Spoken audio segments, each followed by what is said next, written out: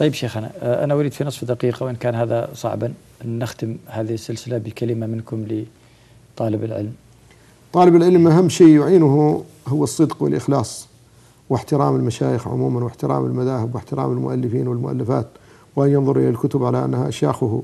كما قال ابن هلال لنا جلساء ما يمل حديثهم ألباء مأمونون غيبا ومشهدا يفيدوننا من علمهم علم من مضى وعقلا وتأديبا ورأيا مسددا فلا فتنة تخشى ولا سوء عشرة ولا نتقي منه لسانا ولا يدا.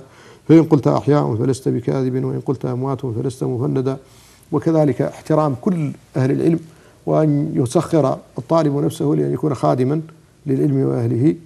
آه، ولا يكون ذلك بمجرد قول بل يكون محترما لكل أهل العلم. وكل من ينسب إلى العلم بوجه من الوجوه يحترمه ويقدره. هذا الذي ينال به هذه المنزلة. وقد قال أحد الحكماء في آه، ذلك يقول آه، يقول فالكبير العظيم يصور قدرا بالتجري على الكبير العظيم ولع الخمر بالعقول رمى الخمر بتنجيسها وبالتحريم. لا تضع من عظيم قدر ولو كنت مشارا إليك بالتعظيم. فالكبير العظيم يصور قدرا بالتجري على الكبير العظيم ولع الخمر بالعقول رمى الخمر بتنجيسها وبالتحريم.